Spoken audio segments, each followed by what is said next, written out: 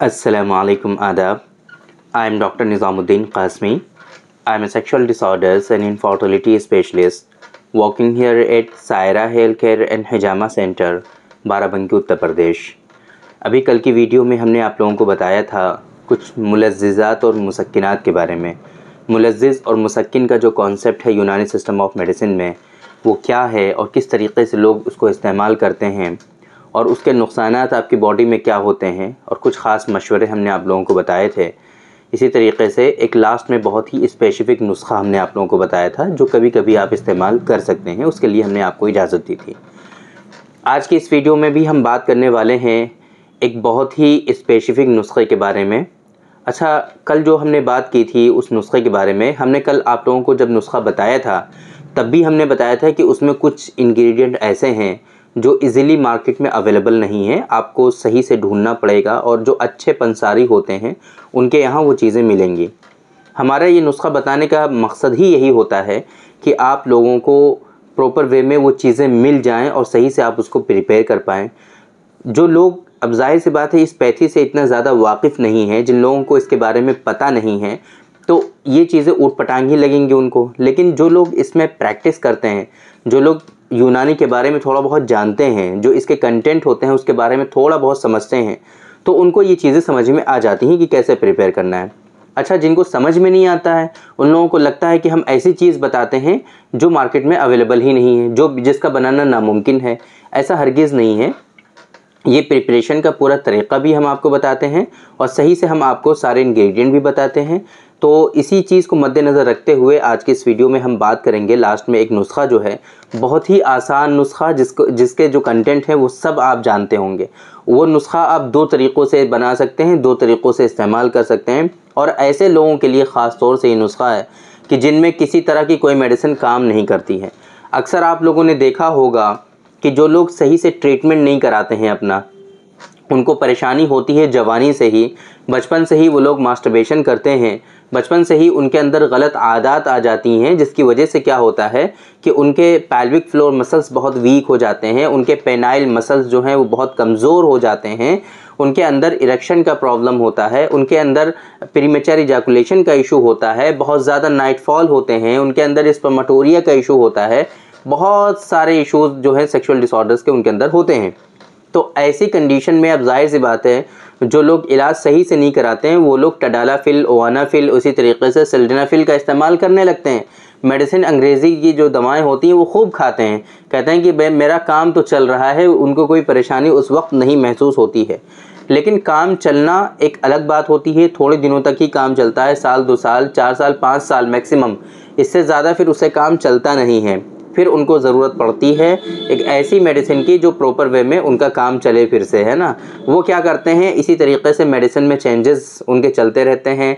एक रिसर्च उनकी मार्केट में चलती रहती है कि हाँ ये कैप्सूल ये कैप्सूल ये कैप्सूल वो ढूंढते रहते हैं बट उनकी ये रिसर्च जो है ज़िंदगी भर कभी ख़त्म नहीं हो सकती है।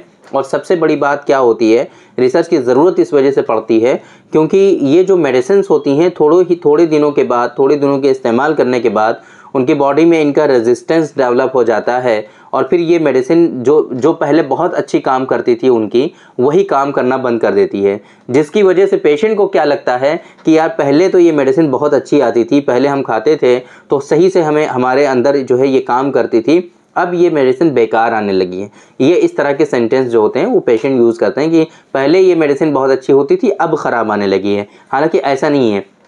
मेडिसिन के देखिए, थोड़ा बहुत चेंजेस हो सकता है है ना? मेडिसिन के स्टैंडर्ड में, उसके प्रिपरेशन में थोड़े बहुत चेंजेस हो सकते हैं, वक्त के बदलने के हिसाब से। बट ऐसा नहीं है कि उसके ज़मीन और आसमान का फ़र्क हो जाए। एक मेडिसिन पहले प्रिपेयर की जा रही थी, उसके बहुत ज़्यादा फ़ायदे थे, और अब जो प्रिपेयर की जा रही है, उसके कोई फ़ायदे नहीं है, ऐसा नहीं हो सकता है। वो थोड़े से स्टैंडर्ड में फ़र्क हो सकते हैं, थोड़े से उसके असरात में थोड़े बहुत उन्नीस बीस का फ़र्क होता है, बस इससे ज़्यादा फ़र्क नहीं होता है। तो कहने का मतलब ये है कि ये आपकी बॉडी में चेंजेस होते हैं, आपके बदन में, आपके जिस्म में ये बदलाव आ जाते हैं, जिसकी वजह से वो मेडिसिन पहले काम करती थी बट अब नहीं काम करती है। वो मेडिसिन में बदलाव इतने ज़्यादा नहीं होते हैं, वो आपकी बॉडी में बदलाव होते हैं।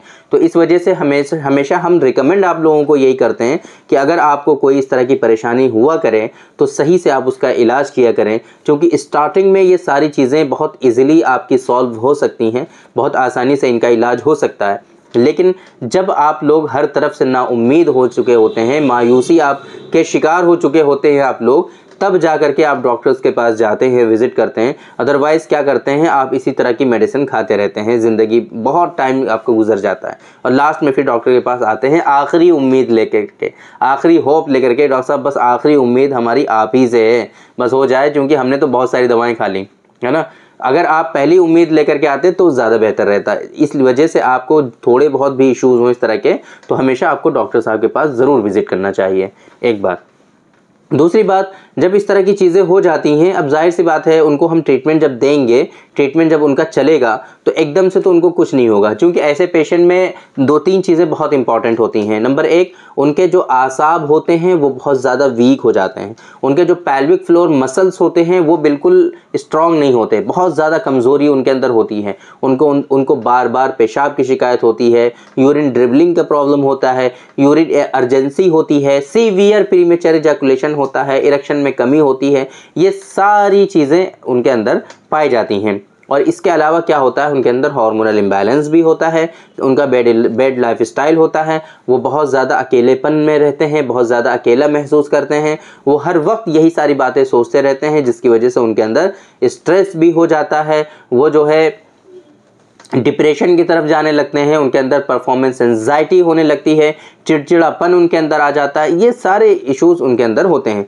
तो अब ज़ाहिर सी बात है, इसका जो मेन रीज़न होता है, वो होता है हार्मोनल चेंजेस हार्मोनल इम्बैलेंस उनके अंदर आसाबी कमज़ोरी जो है, उसको स्ट्रॉन्ग करना, उस कमज़ोरी को रिजॉल्व करना, उनके मसल्स को, उनके आसाब को बिल्कुल स्ट्रॉन्ग बनाना, ये असल होता है मकसद, यही होता है लाइन ऑफ़ ट्रीटमेंट कि जो असल सबब होता है, उस सबब का इजाला हमें करना होता है। जो असल कॉज है, उस कॉज को रिमूव करना होता है।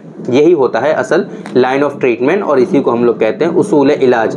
तो ऐसे पेशेंट में हम अब क्या करेंगे? ज़ाहिर सी बात है, आप लोग सोचिए, जब हमारे पास ये पेशेंट विज़िट करेगा तो उसका इलाज करना है हमें। तो जो हार्मोनल चेंजेस हैं, जो हार्मोनल इम्बैलेंस हैं, सबसे पहले उनका करेक्शन हमें करना पड़ेगा। टेस्टोस्टेरॉन अगर कम है डिक्रीज़ है तो उसको बढ़ाने की तरकीबें करनी पड़ेंगी कि किस तरीके से उसका टेस्टोस्टेरॉन जो है वो बढ़ाया जा सके।